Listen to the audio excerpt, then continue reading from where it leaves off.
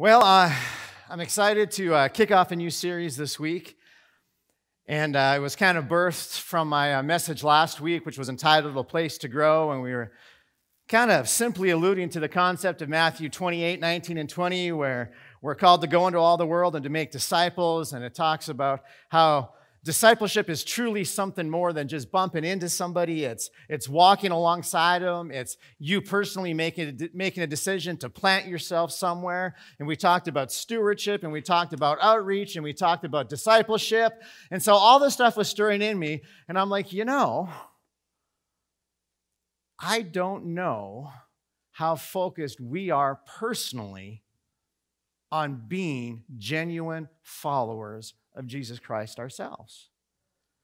Because we can only disciple somebody to the level that we're at. And I, I, learned very early on in youth ministry as a youth pastor that teens didn't want something real or someone real from someone who was fake and wasn't truly living it. And, and they could sense it a mile away if you were just throwing words out there rather than living it. And we're actually we're doing this parenting study right now on Wednesdays called The Art of Parenting. And the whole uh, concept or theme of it is uh, based out of uh, Psalms 120, 27. And in Psalms 127, verse 4, it says, Like arrows in the hands of a warrior are, are uh, children born in your youth. And this is an arrow that I bought my son for his 13th birthday.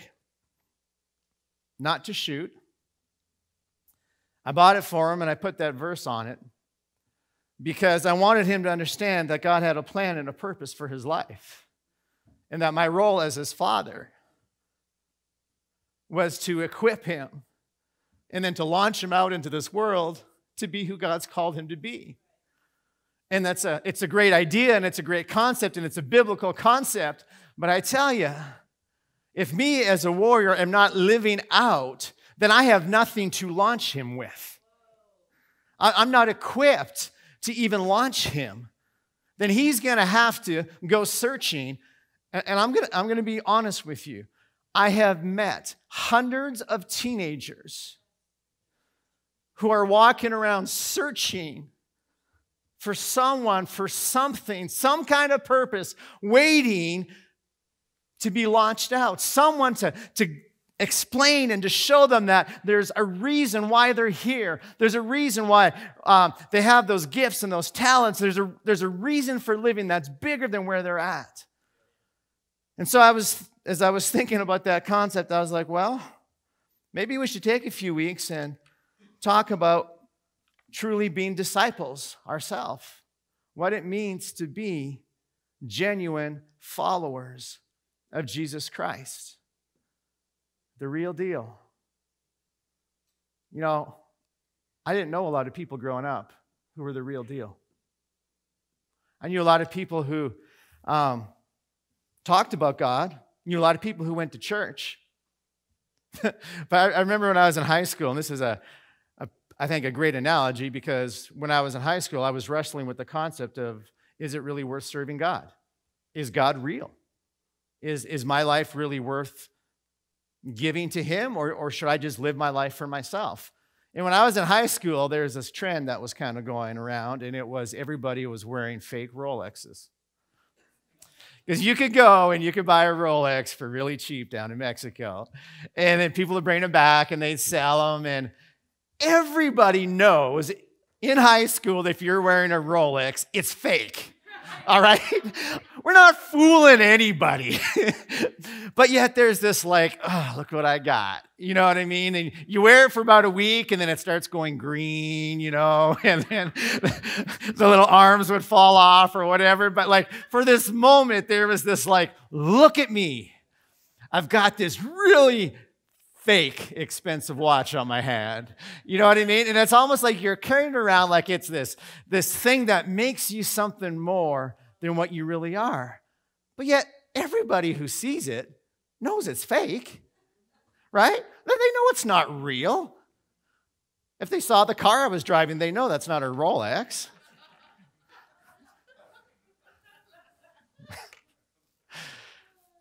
But I think it's the same way with Christianity. Sometimes we just We have Christians walking around like with this, this confidence, like, mm, look at me. I'm a Christian. And the world looks at them and goes, Really? You? You're a Christian? You don't seem very genuine. You, you don't seem very authentic. You say one thing, you do another, you preach to me, but, but you don't look at the sin in your own life. And they, they just see right through the facade. And so I think it's really important for us as believers that we really take that step and say, okay, I don't want to just be a, a believer. I truly want to be a disciple. And a disciple is just very simply a learner and a follower of Jesus. You've just made the commitment. All right, God, I want what you have in my life. And I'm going to begin to pursue you. John chapter 15, verse 8, it says this It says, This is to my Father's glory that you bear much fruit, showing yourself to be my disciples. So, if we truly are following Christ, then what's going to happen is there is going to be this plethora of fruit Wherever we go, people will be able to look at us and what they need through the power of the Holy Spirit because He's doing a work in us. There will be fruit. We will have something to offer. We will have something to give. We will have love. We will have joy. We will have peace. We will have hope. We will have purpose. We will have a word of encouragement. We will have something to give because we are bearing much fruit. And in Philippians chapter 3, verses 13 and 14, it says this It says, Brothers and sisters, I do not consider myself yet to have taken hold of it. But there's one thing that I do, forgetting what is behind and straining towards what is ahead, I press on toward the goal, or the King James says, the mark, to win the prize for which God has called me heavenward in Christ Jesus. So there's, there's this goal. There, there's something that we're actually shooting for. So I've got a target over here. And I'm going to use this target as my goal. Because if you're going to shoot, if you're going to aim for something, then you need to know what you're shooting for, or you're never going to know if you hit it. Correct? How do you know if you hit something if you're just randomly shooting? Now, I like it like when we go to man camp and we have a whole bunch of targets set up because I can just shoot and then pretend wherever my uh, stuff goes, that's the one I was shooting for. And it feels really good, right? It's like, yeah, yeah, I made that one ding. Yeah, knock that bottle over. that's exactly what I did. Or there's the reality, like a little while back when I went with uh, Ken to his place and I pulled out my gun 150 rounds, I couldn't hit the target this, like from here to there. I could not hit the target. I'm like, what is wrong with me? Why can I not do this? Like, and he's like, well, let's try And I mean, over and over and over. And I knew I was missing the mark over and over and over again. So I started making adjustments. I started trying different things. And I tell you, I just could not hit the mark. So finally, Ken goes, maybe it's your gun. So he comes over, he grabs my gun, bam, right in the center. It's not the gun. I'm like, thank you, thank you. Yes, yes, thank you for clarifying that. So now I understand and know I just can't hit a target at all. So, as a disciple, we have a goal, we have a mark, we have something we're shooting for. And our goal is to become like Christ. That's the whole point of being a Christian. It means Christ like. So our goal is to take on the image and likeness of the one we're following. Now, here's what's so crazy most people think they're so independent. And so, because you think you're so independent, you struggle with the concept of actually following someone, right? like actually becoming like Jesus. Well, I don't want to be like all the other Christians. I've heard so many people say that. I don't want to be like all the other Christians. I'm like, well, you don't have to be like all the other Christians. You just need to be like Jesus, right? And, and that's the goal. But yet, in their own life, how they decorate their house, what they drive, what they wear. They're following everybody else's trends and everybody else's lead. So, you know, every one of us, we're prone to follow, just saying. We are prone to follow if we like what we see. And so, as a Christian, if we truly like, if we truly love Christ, then we should want and desire to follow him. And here's what it says in uh, Philippians 3:14. Well, I already read that. John 8, 31 and 32 says, Then Jesus said to those Jews who believed in him, He said, Listen, if you abide in my word, then you are my disciples indeed. And you will know the truth, and the truth shall make you free. So if you abide in my word, you are my disciples indeed, and you will know the truth, and the truth will make you free.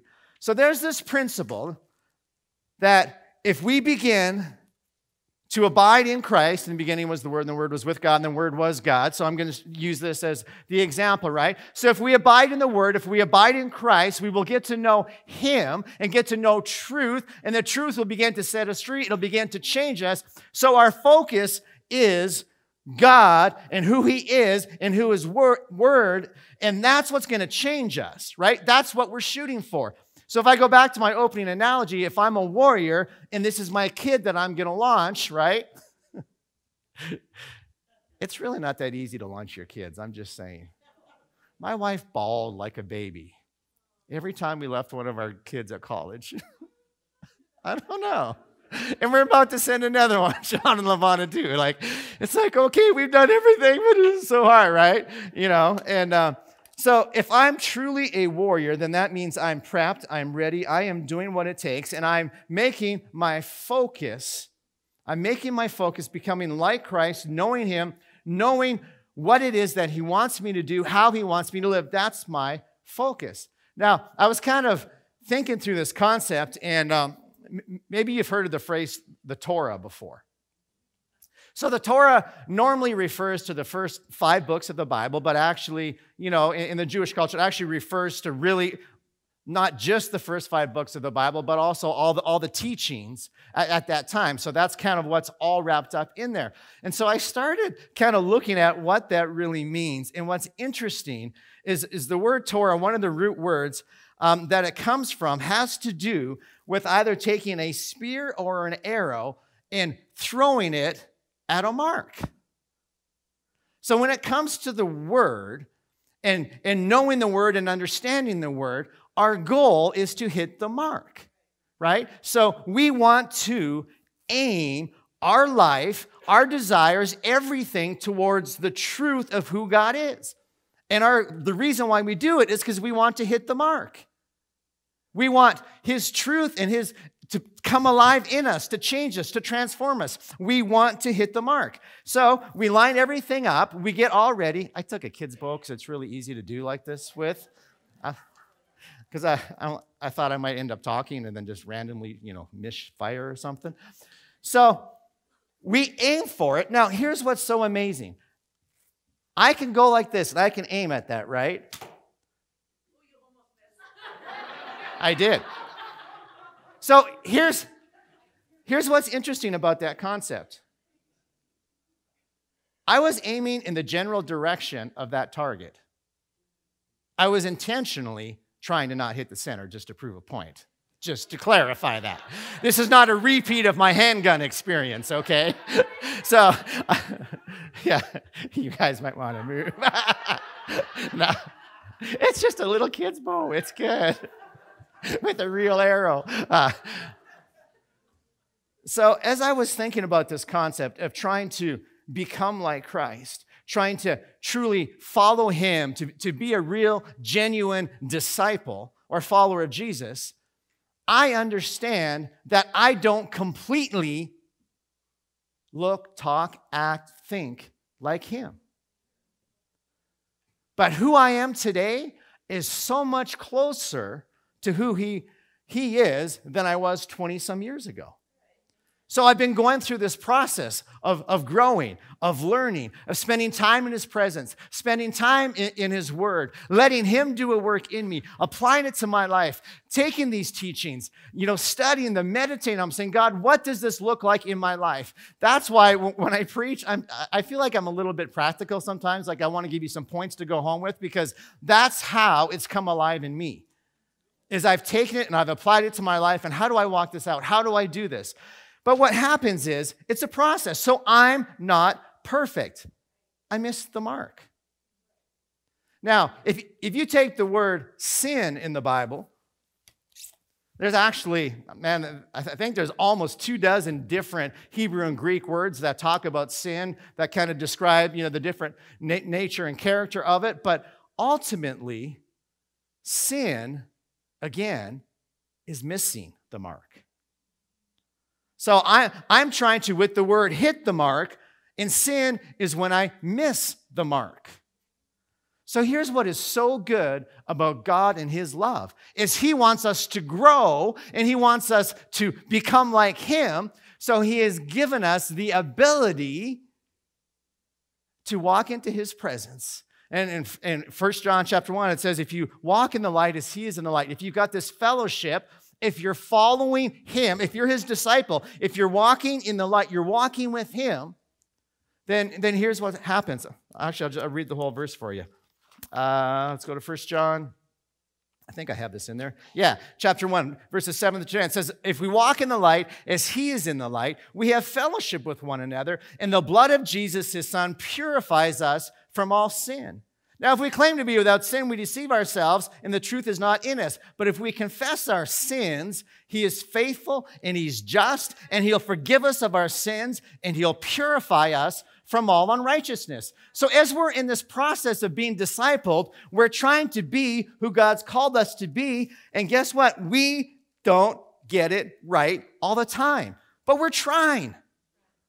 You know, there's times we bite our tongue, and then there's times where it just kind of slips out, or there, like there's sometimes we're just not quite there, but we're trying. Now, trust me, there is sin that's deliberate. And I'm not talking about deliberate sin right now. I'm talking about when you are trying, when you are pursuing God, when you're trying to be led by the Spirit, when your eyes are fixed on that and you're doing everything you can to kind of go towards it. You're trying, you're trying, and then it's like, oh, I just missed it. I really did try. God, forgive me. I let it slip out again. God, I looked at that again. God, I said that again. Man, I had that anger rise up in me again. Lord, forgive me.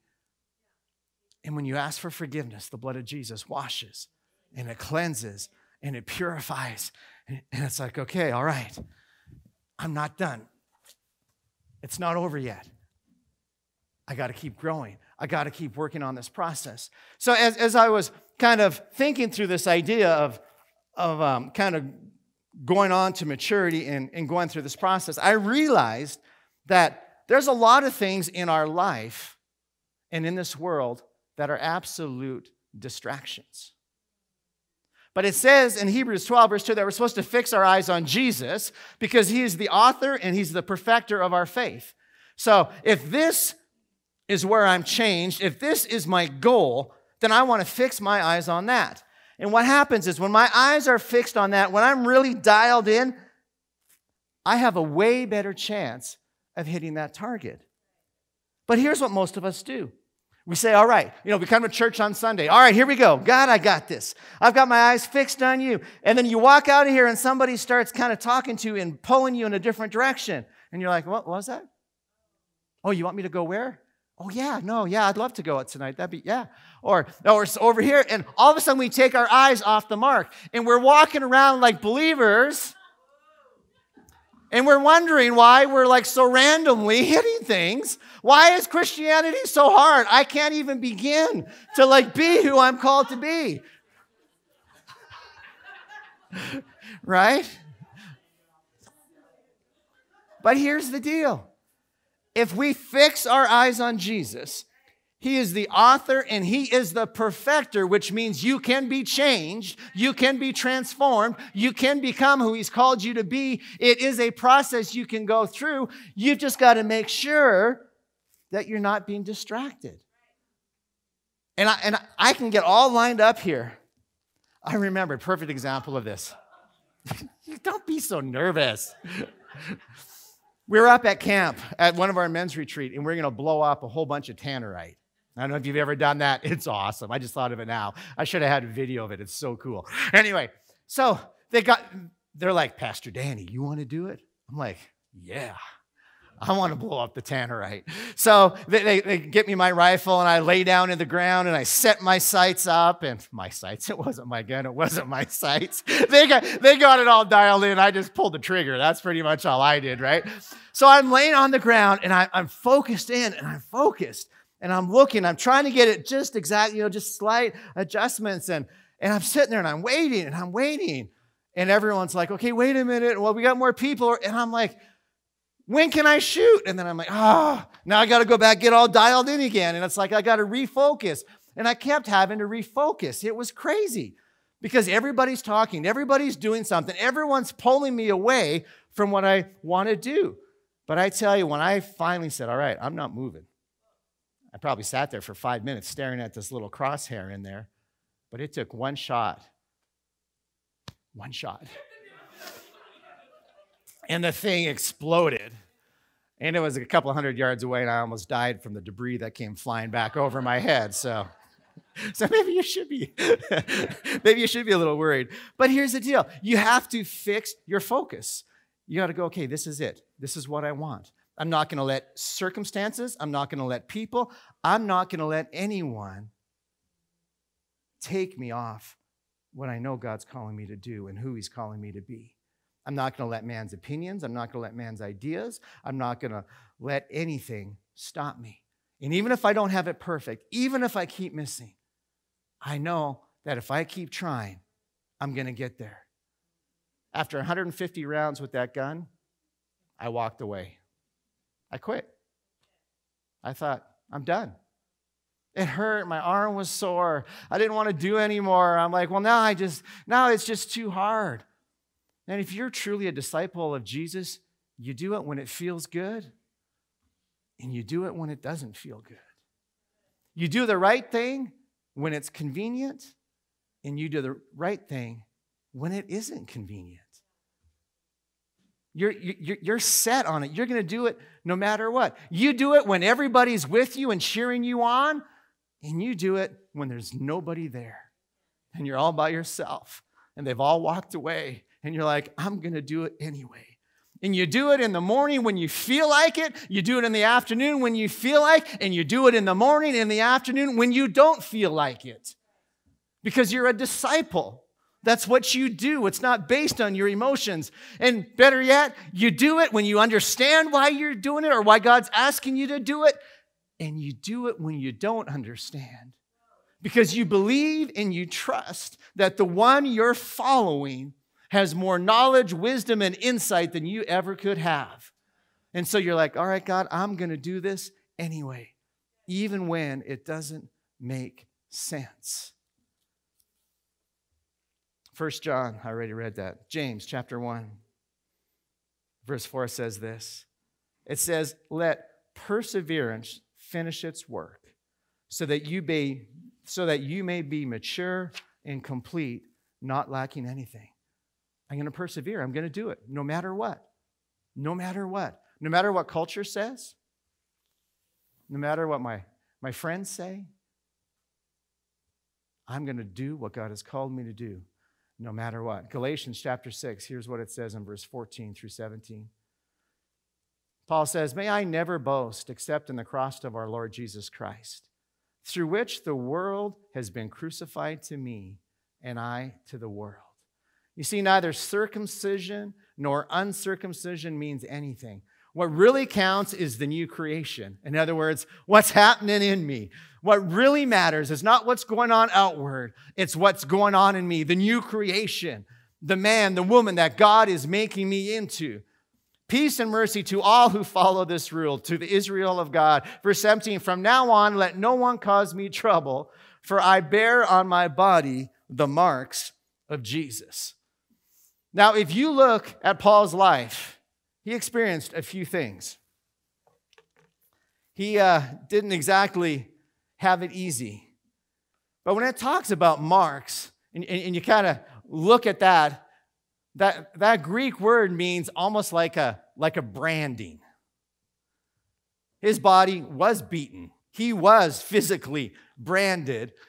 But more than that, the marks on his body showed ownership of Jesus, that showed who was his Lord, but it wasn't Jesus who put those marks there. It was the world. The world marked him as a follower of Jesus, and he gra- gladly embraced them. That's, I, I'm a disciple, I'm a follower of Jesus. And he embraced those marks. And I was thinking about that concept, and I'm like, huh, what, what in our life do we even have? I mean, we have nothing that compares to what Paul went through. I don't think we have physical scars from our obedience to the Lord. But is there anything that marks us in this world? In other words, has the world marked you as one of those disciples, one of those followers of Jesus, one of those who is so so fixed on and so tuned into, who's not willing to be moved or swayed by anybody or anything. You're just sticking to that, you know, that timeless, crazy old way of thinking. And you, man, you're so old school and you're not willing to embrace the new. And has anybody marked you? If you were standing in a court, this is how, this is how we tell it to the teens, a youth group. Is there enough evidence to even convict you of being a Christian? What, what are the marks in your life that would show that you are branded for Christ? Matthew 5:10 says that we're blessed when we're persecuted for righteousness' sake. But most of us we don't want to do the right things, or if we do, I mean, we want to. We just don't want to do them in front of everybody because we don't want the persecution that comes with it. We want to have our own little opinions, but we want to stay in our own little world, and we don't, don't want everybody to know what they are because we'll get persecuted. People will think differently of us. And, and, and we care more about being accepted in the culture than we do about the fact that we've been called out of the world to be a disciple of Jesus Christ. Matthew 10 22 says, You will be hated by everybody because of me. I discovered very early on in my Christian faith that if everybody loved me, I probably wasn't doing something right. because the truth is offensive to a lot of people who don't want to hear it. So, what, what are some of these marks? Well, here's the first one I, I thought of, and they all kind of tie in together because they're all wrapped up in the same thing about us being genuine followers of Christ. The first one is the mark of truth, where this is the foundation of who you are. You see, the world doesn't really have absolutes. But as a disciple of Jesus, we do have absolutes. We have made the decision that God's word is truth. John 17, 7, it says, that your word is truth. And so we've made the decision and we've made the commitment that that's it. It's not what I think, it's not what I feel. I'm not going to serve God based just on convenience when, when it works for me and it doesn't. I'm going to serve God based on convictions on, that are based on the truth of His Word.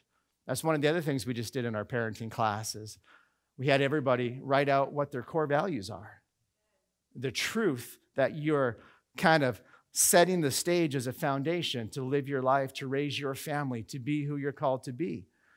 You know, Proverbs 13, verse 12 says, There's a generation that is pure in its own eyes, but yet it's not washed from its filthiness. And we live in a culture that too many times we look to to tell us what's right, what's wrong, what's acceptable, what's not. I was trying to think of the easiest example to kind of use for this, and I, I think this one kind of works. Is did you know in Belgium, when you're 16, you can drink alcohol? That's what the world has decided in Belgium. In Australia, it's 18. Canada, it's 19. Some provinces are 18. Japan, it's 20. US, it's 21. India, it's 25.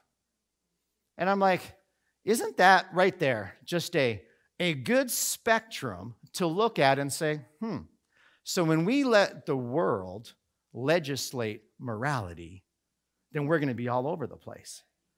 Oh, but I'm 16 now, I get to drink. I'm 18, it's okay to drink. Well, yeah, it's okay to do anything the world tells you to do if, if that's your standard. But you know, the world also says that abortion is okay. The world also says consensual sex outside of marriage is okay. The world also says when you're of legal age, pornography is okay. So, are we really going to let the world legislate what's, what's right and what's wrong, what's moral and what's not? Or are we going to go to the truth of God's word? And I, I picked the alcohol one because I bet you I have had, I, I, can't even tell you how many conversations I had in the last couple of weeks with people about alcohol. People asking me about my opinion, my stance, those types of things. Do you know what I love about God and His Word when you're fixed on Him? I knew without anybody telling me the day before I gave my life to the Lord that if I became a Christian, I was never going to drink again. And it wasn't because anybody said, told me that. Nobody said, well, you know, as a Christian, you could have one or maybe two, but if you get drunk, that's a sin. So, no, I didn't have any of that. I remember I was in my hotel room and I walked out and I went down to the bar and I grabbed a drink and I was shooting some pool. And the next day was the day I was going to Bible college. I was on my way to Bible college. And I'm drinking this beer and I'm like, this is probably going to be the last drink I ever have. I'm tearing up like it's a bad thing. Don't get me wrong. That's not what I'm saying. The Holy Spirit, the Holy Spirit in me was speaking to me. And I knew what that brought into my life. I knew what that did to people. I had seen the fruit of that. And I knew that if I was going to serve God, that could not be a part of my life, and I wouldn't let it be a part of my life. And the next day, when I gave my heart to the Lord and gave my life to the Lord and made Him the Lord, it was gone. And I have no regrets these past 20 some years of not drinking alcohol. But you see, I didn't, I didn't let the world tell me what was right or what was wrong. I began to, to look at God's word. I'm like, oh, that's foolish. I probably shouldn't do that. Man, that, that's, that is such a gray area. Man, I could fall into sin so quick. You know, I'm like, I can't. I can't do this. I'm not even going to open that door. There is no, nothing good that comes from that. I'm done. But you see, it's because I, ha- I had someone who is truth. And, and that someone was so kind to give me so much wisdom in this wonderful little book for me to read and understand. And then to put his spirit on the inside of me, which made this come alive like you cannot believe. And so the combination of the relationship and his word and it coming alive, I started finding that I had a foundation I could build my life on. I had truth. So, whatever situation, whatever circumstance I walked into, I, I didn't have to be moved by anybody or anything. Do you guys realize the government keeps changing their rules and their laws and their guidelines? There are states where all kinds of drugs are legal, and you can go on and on. I'm so glad that I am not looking at my life saying, What am I allowed to do? It's God. I trust you. What is morally right and then what's going to be beneficial for me. And do you realize that he knows your weaknesses better than anybody well, else? The devil knows your weaknesses pretty, pretty good too. But God knows, and he'll tell you what you need to get out of your life.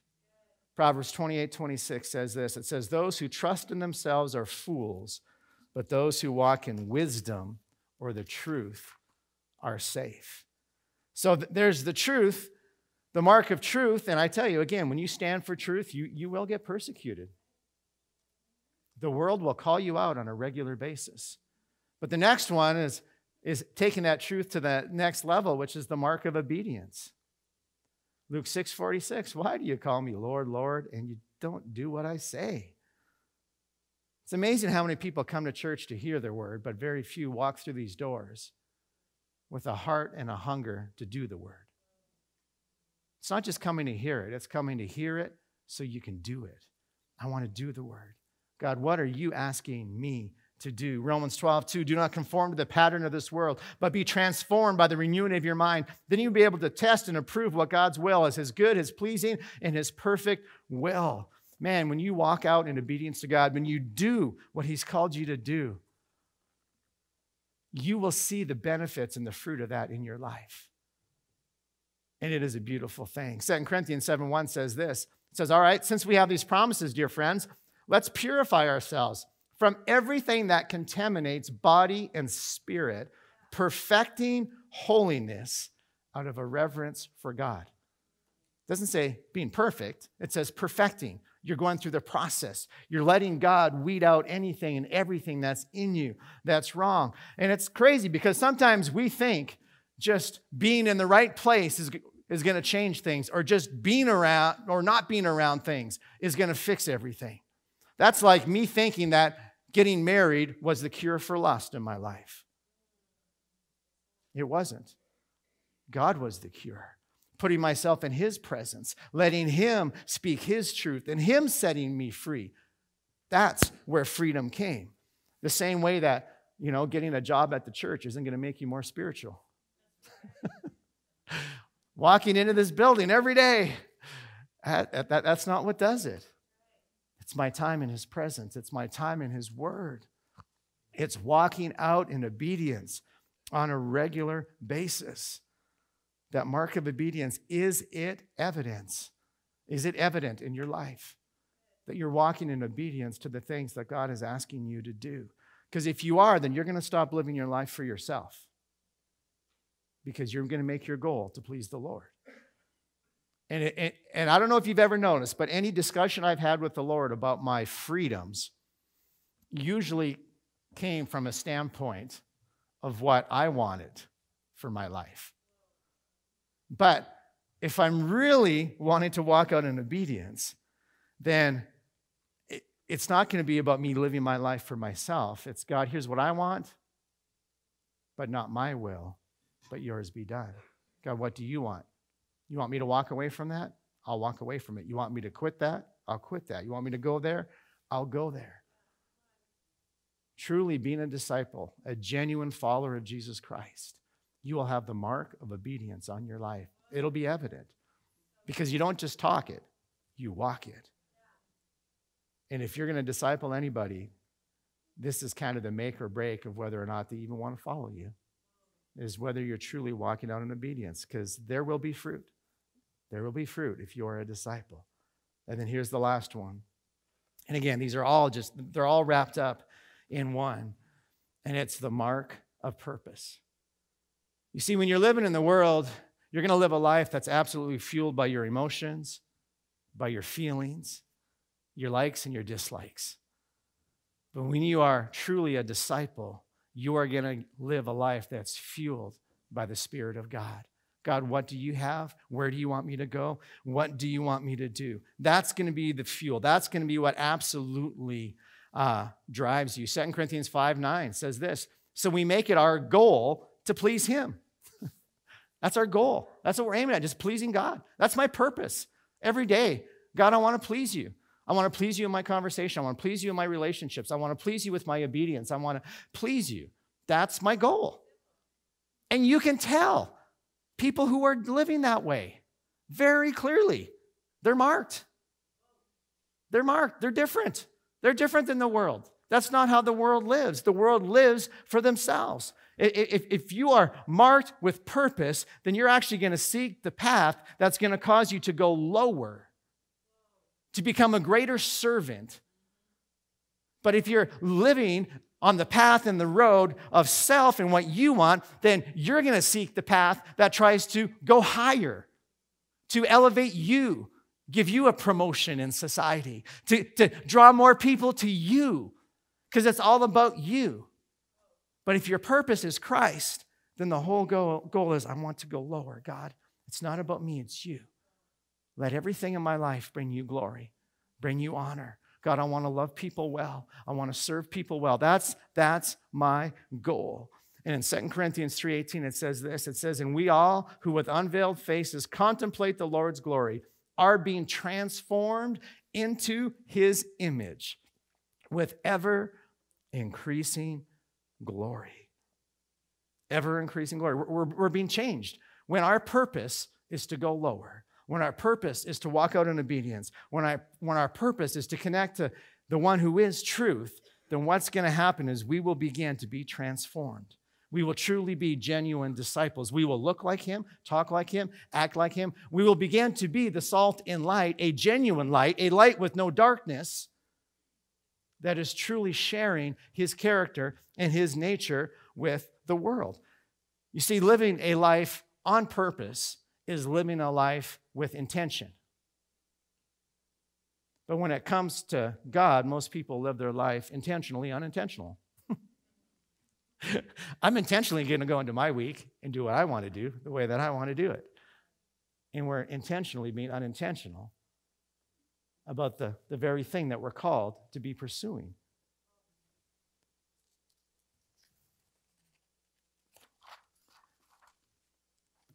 1 Corinthians 10:31.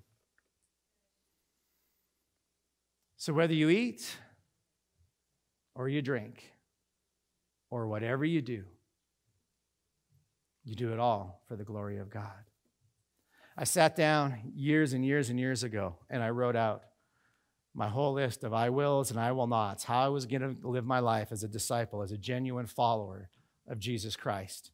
And I was very specific about things that I would do and things that I wouldn't do. And I had verses and I put them all the way through there. And when I was all said and done, I looked at it and I'm like, huh, that's like a couple pages of, of stuff. And I took this verse, 1 Corinthians 10:31, and I put it at the top of the page. Sums it all up. Everything I do in my life, my goal, my goal is to fix my eyes on Jesus, the author and perfecter of my faith. Everything I do, it's about walking in truth, walking in His truth, walking in obedience, living my life with purpose, not wasting time, not wasting moments, not wasting energy, not wasting finances, not being distracted by anybody and everything, fixing my eyes on the mark and doing exactly what it is He's called me to do. And I'm getting closer and closer every single day. He said, I didn't want you to think I was perfect. It's a process. I'm going through it. But I've made the decision that I'm going to be a warrior, I'm going to be a disciple. I'm going to be a genuine follower of Jesus Christ. I'm not going to have people look at my life and wonder, huh, I wonder what he thinks. Wonder what he believes. I wonder why he does that. I wonder why he doesn't do that.